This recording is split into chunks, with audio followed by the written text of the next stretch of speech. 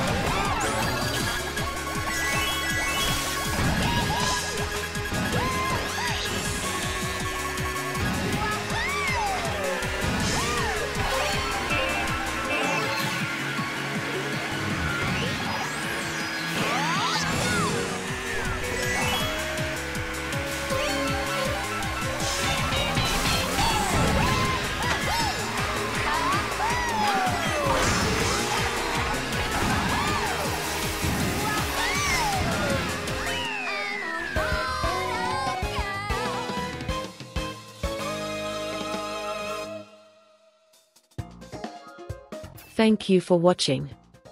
Please drive carefully, press the button to leave me a like, and subscribe to see my next videos.